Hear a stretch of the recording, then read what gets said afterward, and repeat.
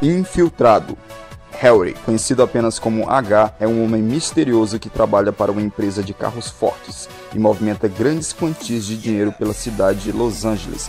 Quando ao impedir um assalto, ele surpreende a todos com suas habilidades de combate. Suas verdadeiras intenções começam a ser questionadas e um plano maior é revelado.